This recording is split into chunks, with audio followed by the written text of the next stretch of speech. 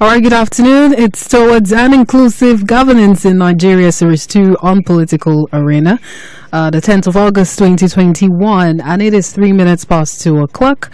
We'll be looking at 2023 elections, safeguarding women during elections. My name is Kimberly Ubiebo, and our guest today on the program, Ambassador Folake Marcus Bello, who is a former Ogun State Commissioner for Women Affairs, and she's also a former Nigeria's ambassador to Zambia and Malawi. And Olu and uh, Olatunbosun Abolarinwa um, a security expert and public affairs commentator. It's towards an inclusive governance in Nigeria, and it is an initiative of uh, Nigerian Women Trust Fund and supported by Open Society Initiative of West Africa. Good afternoon to you, uh, Folake Marcus Bello. Good afternoon. How are you? I'm fine, thank you. How's the day going? Very well, thank you. All right, good to hear. Now, currently, only seven out of 109 senators and uh, 22 out of the 360 House of Representative members are women. In, 20, in 2015, female political candidates were subject, were subject to hate speech and threats.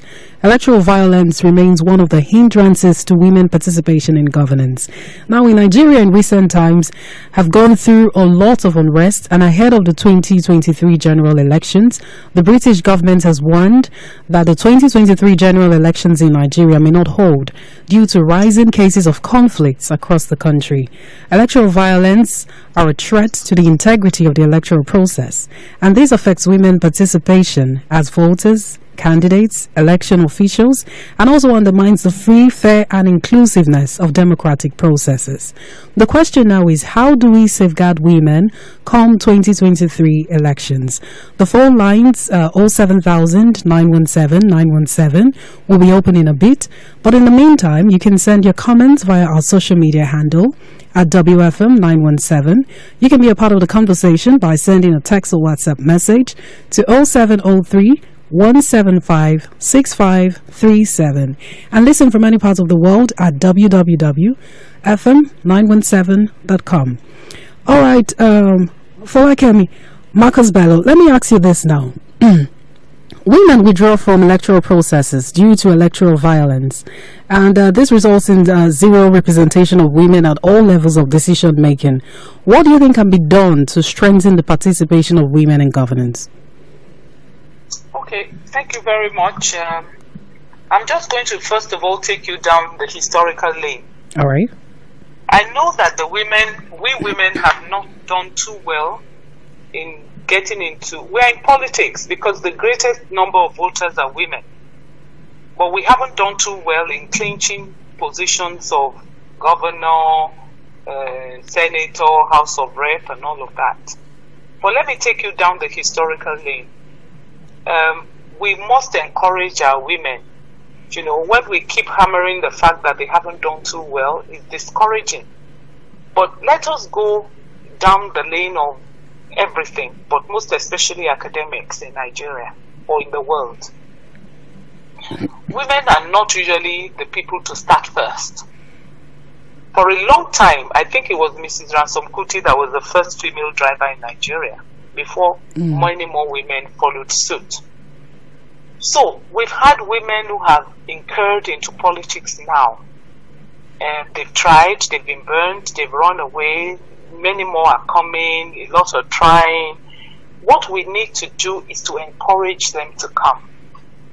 And I always say this I don't go from the premise of, oh, you're a man and I'm a woman. Uh, when we are in school, we all sit the same exam. So I wish our women would see the political circle as sitting the same exam.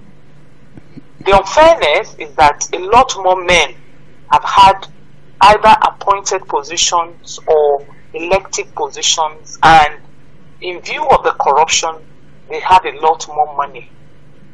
Women often shy away from playing with whatever they have. Right.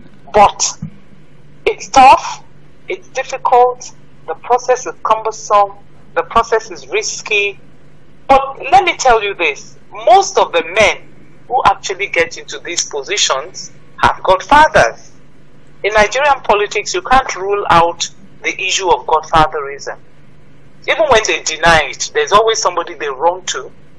So women also now we begin to look for our godmothers. We can't you can't do it without the support of another politician. So I'm going to appeal to our women to say if you're interested in joining politics, find somebody who can mentor you.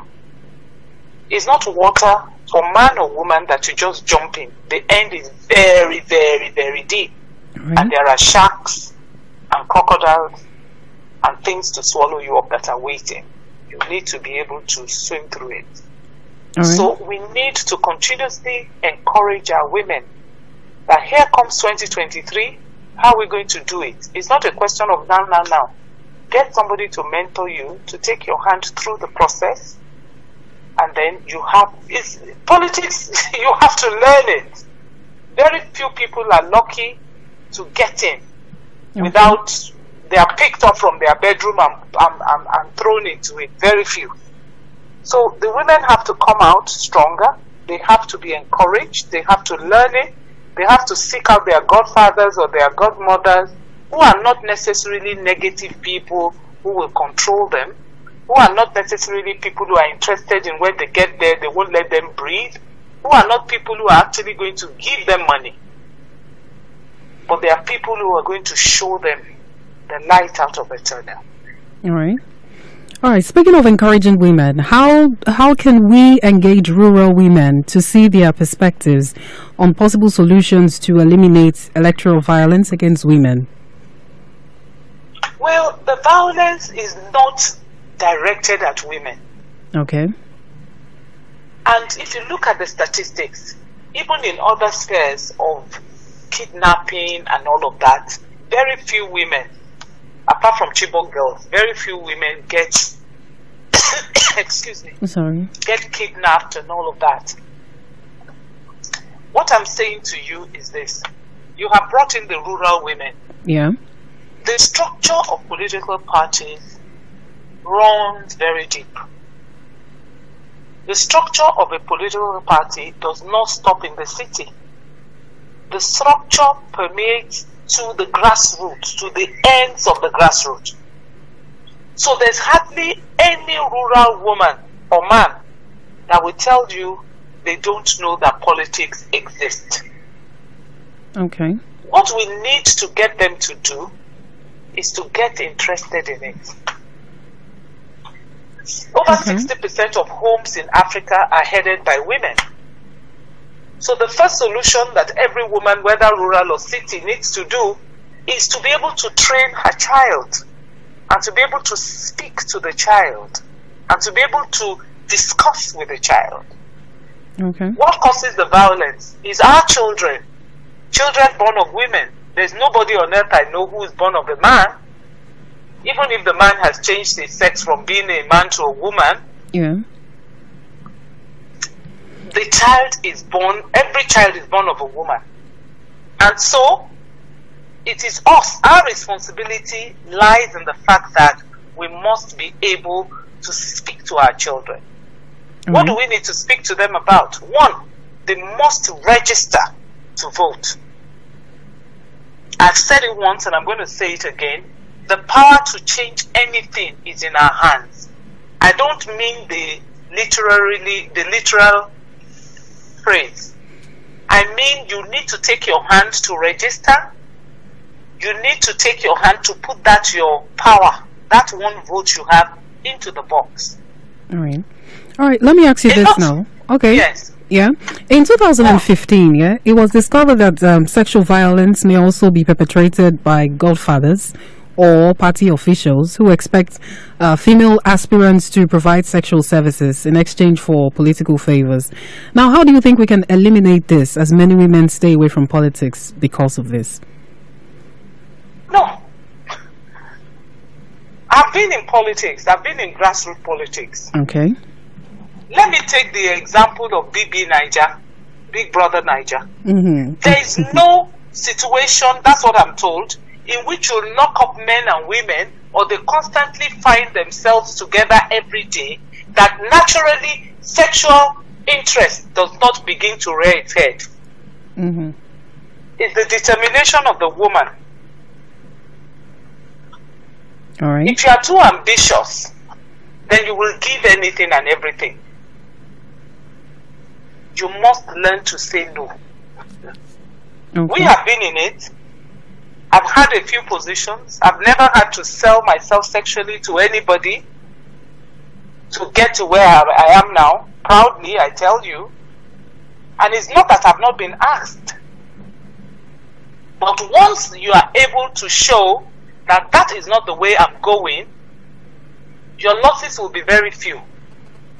But when you blow hot today and you blow cold tomorrow, and nobody can place you as a principled person, look, even people who are in government are looking for people who can, who can, who can, who can, who can, who can, uh, Who are who can- competent? who can accomplish things for them. Okay. People who have ideas in their head, people who have things to share with them. So, sexual violence or sexual, except it is rape, Okay. that is when the woman should be able to speak up and go to court. But we women must come together, encourage ourselves, and say we must say no to sexual advances in politics. It is because we go left today and we go right tomorrow, and then media, everybody, gossip mongers, rumor mongers are saying, oh, that's how she got there. Oh, she had to do this. A lot of assumptions. All right. Now it's still So- okay. Go ahead. Yes, go on. No, you All go right. ahead. It's towards an inclusive governance in Nigeria, Series 2 on Political Arena. And I am Kimberly Obiebo, your host, our guest, Ambassador Folake Marcus Bello, who's a former commissioner, uh, for, commissioner for women affairs in Ogun State. And she's also a former Nigeria's ambassador to Zambia and Malawi. And later on, we'll be having a security expert and public affairs commentator on the program. Now, let me ask you this. Um, also, um, during elections, women get subjected to fear and shame, name calling, defamation, and hate speech, and this is all in a bid to deter them from contesting. Now, how do we begin to sensitize the society on evils of, you know, such attitudes?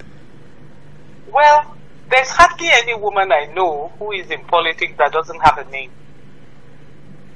If she's not bottom par, she's probably a witch. If she's not a witch, she's probably a, she calculates. If she's not this, she's ambitious. You have to grow a thick skin. You have to grow a very thick skin. I say to people, I'm not supporting any of the names I'm going to mention. If Babangida can survive, if Obasanjo can survive, if Bola Tinubu can survive, if Buhari can survive all the name calling, what's wrong with us? It doesn't stick on your body. Okay. They say that if a lie goes in 20 years, it's only one day that the truth will catch up with it. These are the realities of going into politics. Do you recall what Mrs. Clinton had to go through? The caricatures of her Mm. in trousers, her, uh, her private parts exposed, Yeah. and all of that. So it's not only a Nigerian thing, it's an international thing. All right. You remember Iron Lady Margaret Thatcher? You know the name they gave her because she was so strong and principled. Everybody gets a name if you're doing things right. So you shouldn't be discouraged. You should actually be expecting it and be ready for it. But don't lose your focus. All right. Fix your eye on where you're going.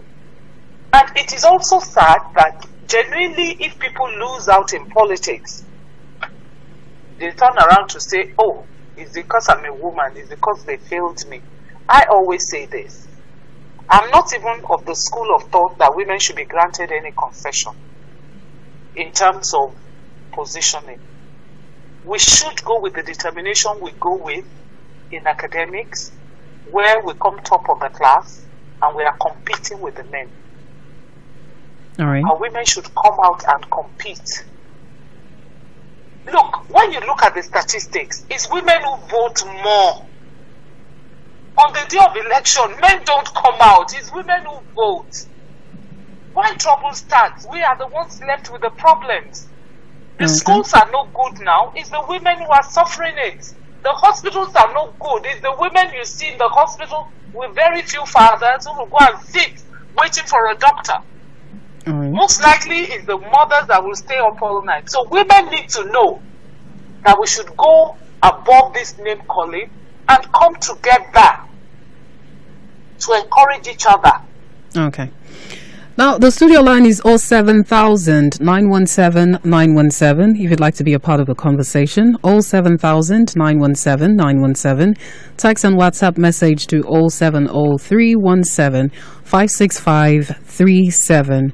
Now, in a society like ours, how do we get men to see women as equal partners in politics and eradicate the relegation of women to the back because, you know, in court, women should not be heard? Given the reality of our society? Well, let's give it to some men. Let's give it to some men. All right. Women have been, at least in my own circle of influence, and also I'm a grassrooter in the villages that I belong to. Women now seem to have a voice. Men, some men, most men, have realized that look, if my wife is in a position, I am also in that position with her. And so when their wife has the capacity to go, I'm not saying we are the we are the peak of it or we are best at it, but from the time I joined politics in 1982, because I was a student union leader, Okay. so technically I started real politics in 1981 to present day 2001. There's been some increase, and I'm I'm telling you some increase. So what we need to do more now is not to hammer on the violence, but for women to have seminars and talks on how we can come together. Come together to support women that we believe can do it. And on the day of the election, you are all by yourself. Okay. Make sure you cover your vote well and put it in that box. Nobody's going to know right. who you voted for. But the important thing is, no matter how many wishful, look at what has happened to the local government elections we had some time ago, even in Lagos and even in Ogun State. Yeah. There was a lot of voter apathy. And you see, voter apathy means that people were holding their tickets, their card, but they didn't go to vote. But I say that in the analysis that we have made is bigger than voter apathy. It's a question of did people actually go to register to vote? To vote. We Okay. need to appeal to our government, the federal, the state, and the local government to make the process of getting voters' card less cumbersome. All right. So let me ask you your thoughts on the place of political parties in ensuring the safety of, you know, female candidates and members during elections. You see, my, my dear, you need to understand the political process. And this is what I say to everyone. Okay. The people you see as candidates have been coming from very far. What do I mean? The electoral process is you go through your ward, you go then to your local government, you go through your uh, uh, state, and then you go to federal. But what happens? Everybody wants to be a city politician. You really can't make it unless you go to your ward, your ward, your village, your wherever you claim to come from, your ward. All right. You are not going to read it from the pages of the newspaper. And then you walk your way up. If all of us are determined to do that. But I am a student of independent candidacy. Okay. I pray that someday Nigeria will have a position for independent candidacy. So an independent candidate does not need to go through the whole of these processes and not come out with a, a position to vie for. An independent candidate will have to go through this process to speak to the people as to his capacity. So we have to have seminars Okay, We but, but for female candidates now and party members, do you think the political parties have a place in, you know, ensuring their safety during the elections? No, it's not the political parties because Mm. when the elections are there on the day of elections, Yeah. political parties can't even speak up. Okay. It is only the agents that sit with the ballot boxes. You stop. INEC, who is the umpire, gives you the time. I think it's about 24 hours or 48 hours before the election that you stop campaigning. Yeah. So you're supposed to go out not as a member of a political party, but as an individual who is going to vote. It's not everybody that belongs to political parties. Okay. I mean, if I ask now, we're on air, so you probably won't answer. Mm. A lot of young people don't belong to any political party. And you really don't have to campaign. You really don't have to be a part of the political party if you're going to vote. You can just get up from your house and go and throw in your vote and go. But now we are talking of encouraging women not to just vote because they will use the women to campaign. Check out the people who follow them to campaign. They will use the women to vote. Check how many people are online to vote. And then, after that, when it comes to governance, women are said are told, "Thank you very much. Um, just a few of you can get positions, and all of that, and all of that." Mm. All right. So, the problems are deeper than violence. It okay. is the federal government, it is the security apparatus of Nigeria Mm. that can protect voters. Yeah, I, I was going. I was going to ask you, you know, what INEC can do, in your opinion, to ensure the safety, to ensure that all safety protocols are set in place. You know, um, for women who who want to run for offices, and also for the forthcoming 2023 elections. No, you see, this is part of the problem in this country. Okay. We need to, we don't know what are the powers of each arm of government or each part of the government of the government. Okay. INEC is just an umpire. INEC should provide the ballot boxes. INEC should ensure that the forms are there. It is not INEC's place to provide security. Okay. All right. That is the place of the police. That is the place of the armed forces. And that is the call out from the federal government of Nigeria. Not the judiciary, not the uh, legislative, but the administrative, headed by the commander in chief, who is the president. Mm. The security apparatus begins and ends with the president. Okay. If the president today says no military man must step out, he's their commander in chief. Obey first before you complain. So the security apparatus does not rest with INEC. INEC also depends on the security apparatus of the federal government. I don't think the constitution allows INEC to put together its own security. Uh, But the, but the INEC can work with you know security um, apparatus when it comes to the elections, like make suggestions, recommendations, right? Oh, sure. Yeah. Oh, sure. Okay. INEC, INEC will do that. INEC will actually let them know that according to the census which we have, A, ABC locality is more volatile than BCD. So we will need you to have more there. Of course. Of course. All right. Of course. Okay. Of course. Now, let me ask you this because uh, we're almost out of time. Now, what would you advise? Uh, what would be your advice to women running for public offices at all levels? I know you've been saying that, but let's just get your final words uh, for political arena this afternoon. And that should be Well- that would be advising women. Yeah. I hope I hope my women are listening. In 2023, we're going to come out, and I want to appeal whether we win or lose. Let every position that is available, let at least one woman come out. Whether we mm-hmm. are winning or losing, that will be a big leap from where from where we were before. Let every woman be ready in her locality for every position that is available. Let us have one, at minimum of one woman competing. Okay. And let us ensure women get all your children to register. They must register. They must have their card. Okay. And because we are the we are the we are the voters, and because we are the mothers, I am sure this time around in 2023 we'll be able to move. Don't be afraid. I'll, I'll tell you something which probably will be my last word. Nobody knows what is inside of you, women. Even if it's your husband, if it's your brother, if it is whoever says, oh, vote ABC party, say yes. Yes does not kill anybody. But on that day, when you are holding your card, do what you want. In that minute, do what you want. All right. And support other women too. Thank you very much. Thank you for taking our time to be a part of the program this afternoon.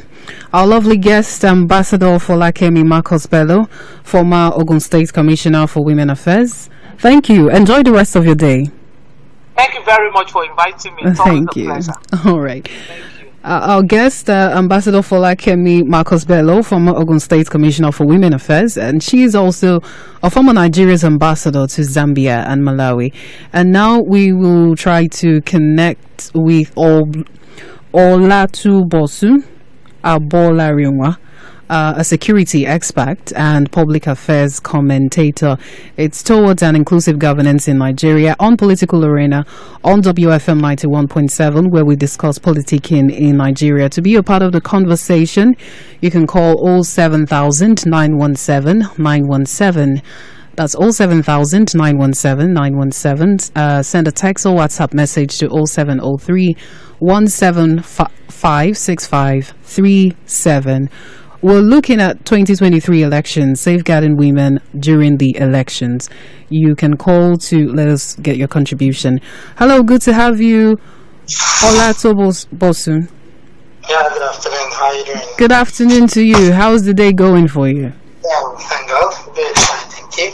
All right, then. Now, uh, let's start with this now. Women withdraw from political um, electoral processes due to electoral violence.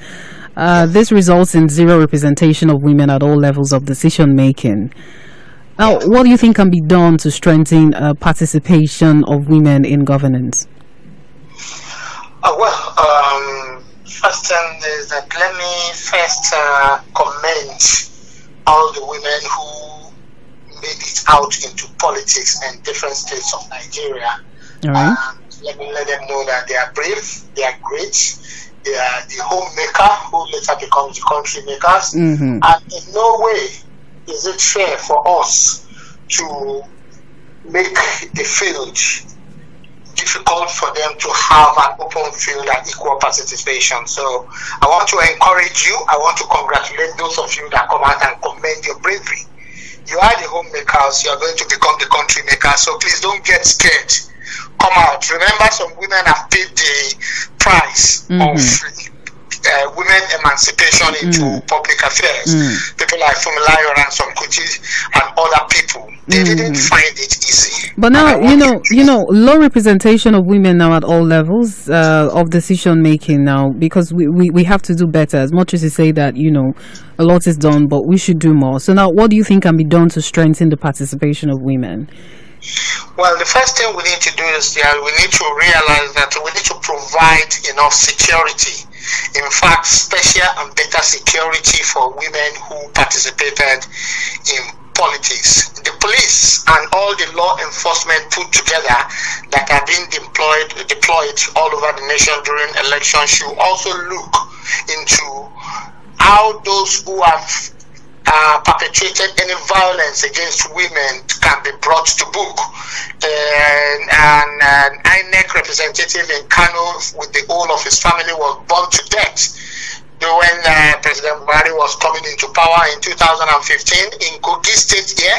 Another woman who was in politics was also burned to death in our house. Oh, yeah. The police yeah. Please uh, do everything to ensure that women are well protected. Okay. Women who come out in, to participate in elections should be given almost double of what men are getting now in politics until they are into offices where we can attach uh, uh, special aids and uh, protectors to them.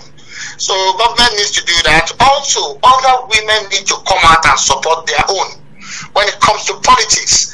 I, I, it's not always nice to see women being alone where we have women and we're talking about gender equality. So all the organizations, civil society organizations, uh, human rights activists, FIDA, should also try and up their game in ensuring that uh, any woman or girl child coming out to represent themselves, to, re- to represent them during the electoral process, should be given enough protections. All right. Okay. It is the duty of everybody to do that, uh, to ensure that that is done. All right. So now, what tactics uh, do you think can be engaged to mobilize women as powerful agents for peace and security in their communities uh, to curb insecurity? Well, the first thing that needs to happen is that uh, we first need to identify women who are ready to go into politics in various capacities. All right. Uh, secondly, there needs to be, there needs to be a legislation supporting a girl child. The girl child in Africa have suffered a lot and are still suffering. You see, it, it all boils down on the type of government and the type of leadership we are practicing. One, the first thing is that the Senate, what is the Senate doing about emancipating an African girl's child? What are we doing to them in various organizations? What law have been put in place to ensure that they are protected? You see, the world has moved on. In some developed countries, if you know the kind of laws that are out to support animals in places like UK, US, and other places, you, and you see what we put in place to protect our girls' child and female gender Yeah, yeah. in Nigeria, you will realize that it is as if we're still living in the jungle. And Yeah. sadly, sadly, Yeah. women, some women who are already in politics, in the Senate, in the House of Rep, in governance, are, are not seen to be doing enough to support and bring their own genders Okay. But now, but now, but now, the question is now: How do you? What What are the tactics that can be engaged? Can be engaged to mobilize? That's to bring women together as powerful agents for peace and security in their various communities. You know, as a way to you know check insecurity, reduce, curb insecurity. Before we get Okay, are on to yes, Are you, the, are the, you the talking rest- about general insecurity or insecurity? Yes, generally, as a security expert now, what what are the tactics that should be applied in that in this situation, in this scenario? To be honest with you, the women are the home builders. Without them, there could not be men that seems to be occupying the center stage at the moment. And I think uh, organizations should come. I'm looking forward to an all-women political party being launched. Okay.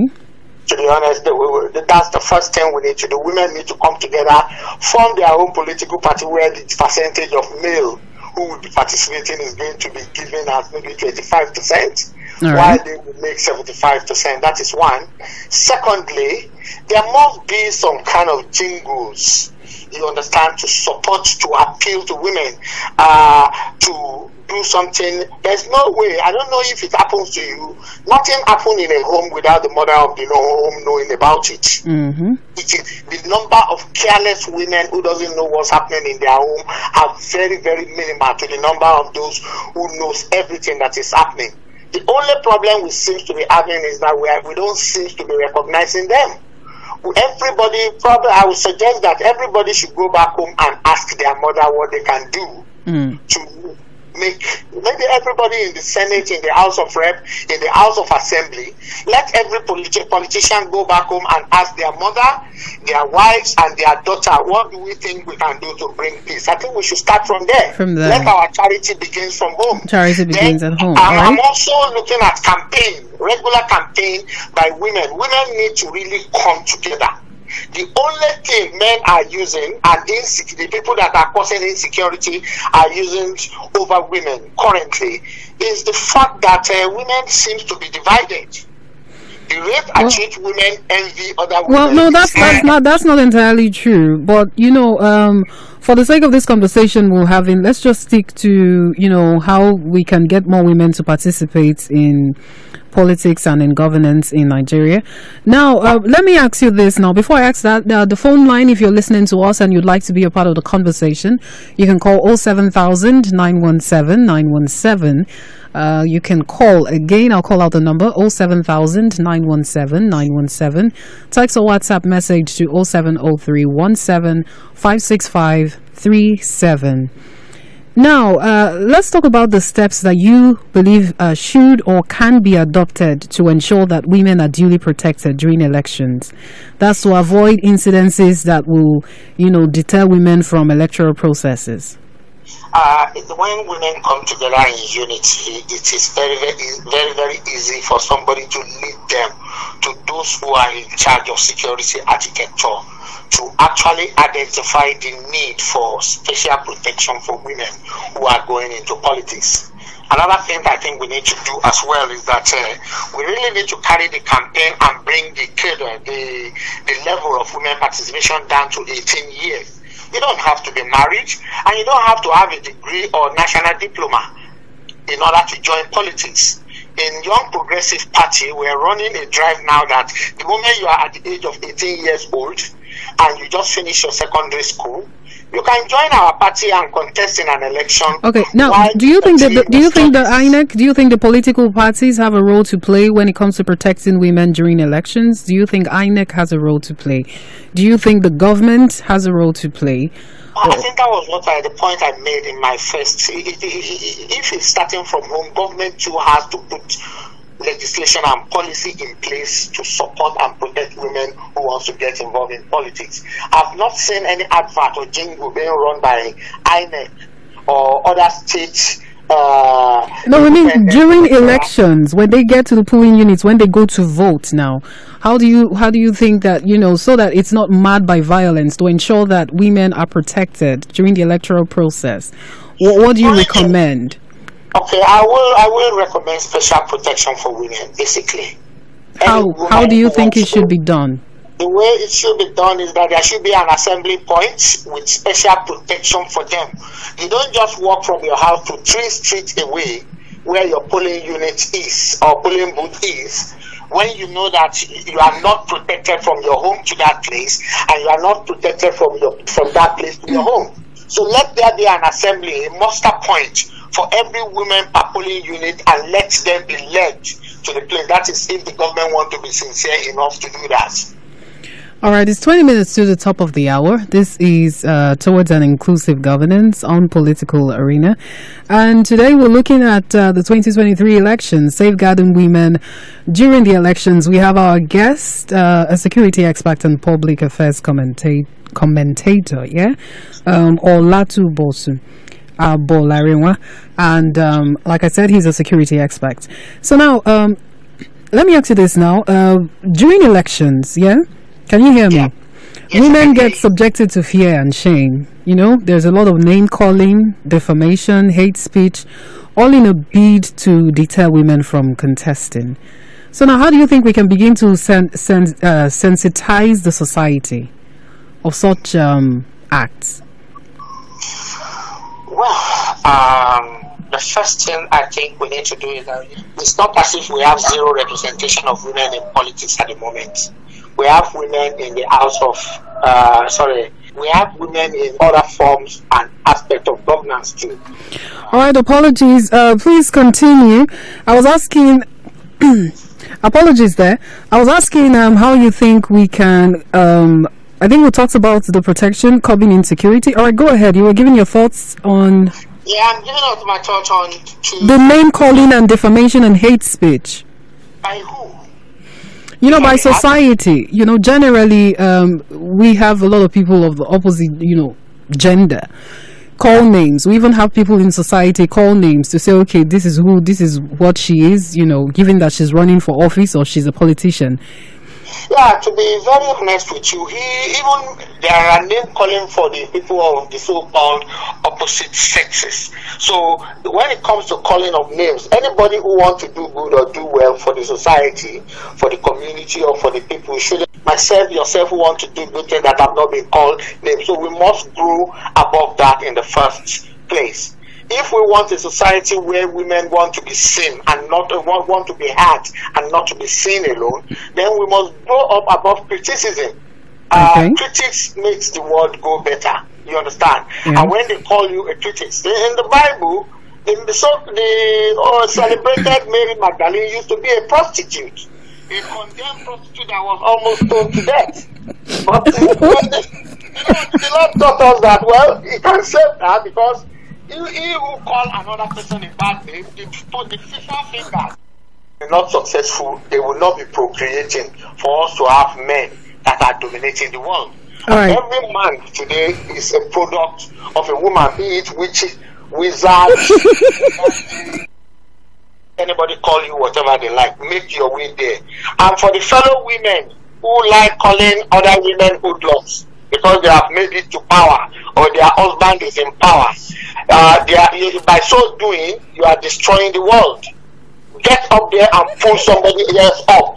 I'm a daughter of a woman, uh, nephew, uh, sorry, a nephew to a woman. I'm and an uncle to many women. Yeah. I want to see all these people on top too. I, I did not give back to them or get related to them so that they can be pressed down forever. All right. So Okay. it is all our duty, your duty, as you are doing at the moment, Yeah. my duty as a father of a girl's child who wants my child to do well in life, to, to, to, to, to make sure that we come up to the standard of the rest of the world. Like Germany, like United Kingdom, right. and other places where women are almost making it to be the first All right then. All right. the nation. 15 minutes to the top of the hour. This is Political Arena uh, towards an inclusive governance in Nigeria Series 2. I am Kimberly Ubiebo. We have our guest, a security expert and public affairs commentator, Olatubotu, Olatunbosun, I beg your pardon, Abolarinwa. And you can be a part of the conversation, 07000 917 917. Now let's talk about uh, ru- rural women. Uh, now, how, how can we engage rural women to see their perspectives on possible solutions to eliminate electoral violence against women? The first thing we need to do start from the name calling, which you just made just now. If you are talking about women living in remote areas where there is no third road, there is no electricity, eh, that is a long gone story. You understand? I think from the time of Maryam Babangida when Better Life for Rural Women program has been created, I want us to put that behind them. I don't want us to attach any name to women anymore All right. woman, a woman is a woman. Okay. Regardless of where you live or where you are located. Okay, let's us- say, let's say Let, let us the name calling that we want to no, it's it's it's not exactly it's not exactly name calling. It's the reality of things. Like you know, No, uh, people in the urban areas and then in the rural areas. So it's like, how do we get more women? In this case, now the focus being on women. How do we get more women in rural areas? You know, to participate. The- the- actively. Every woman living in a remote area have a point of convergence. We have churches, we have mosques, we have schools, and we have various clubs. We have various banks going into all these areas to get them to borrow money. We have LAPO, we have so many other programs engaging them. Let us let all these programs in bring a kind of equal opportunity policy and packages that will talk to a woman or a girl, girl child to get involved in politics like we're doing in Young Progressive Party.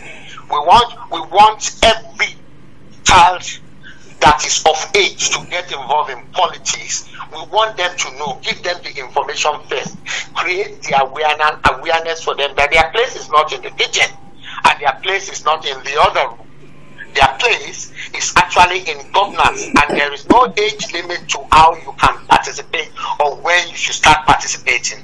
So let us take this campaign down to every school. It told me what I'm made of and what I can become. And I didn't forget, even though it was taught to me at a very tender age. Now, what are we singing apart from my mother? There are better things women can do than watching our infant head. Go to different houses of common in development or developed country. You will see pregnant women. It represents Earlier on, apologies, uh, reflex, these things happen. Uh, towards an inclusive governance in Nigeria, we had the security expert, um, Olatunbosun Abolarinwa, and earlier on we had Ambassador Folake Marcus Bello, former Ogun State Commissioner for Women Affairs. Now, uh, towards an inclusive governance in Nigeria is an initiative of Nigerian Women Trust Fund and supported by Open Society Initiative of West Africa. Towards an inclusive governance in Nigeria is an initiative of Nigerian Women Trust Fund.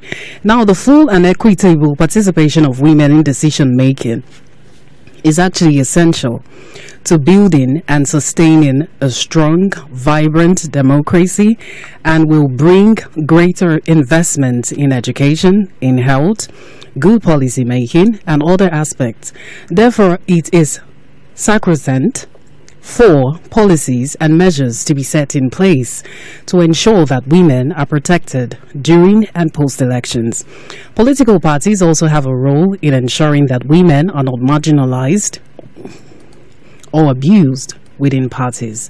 Thank you to our lovely guest, Ambassador Folakemi Marcus Bello, former Ogun State Commissioner for Women Affairs. She is also a former Nigeria's ambassador to Zambia and Malawi. and Olatunbosun, Abolarinwa, a security expert. Thanks to the production team led by Esther Alaribe, Taiwo Adeleye, and Tunde Owolake towards an inclusive governance in Nigeria on Political Arena continues next Tuesday at 2 p.m. on Women Radio, WFM 91.7. Towards an inclusive governance in Nigeria is an initiative of Nigerian Women Trust Fund and supported by Open Society Initiative of West Africa. I am Kimberly Ubiebo. Until next time, good afternoon. WFM 91.7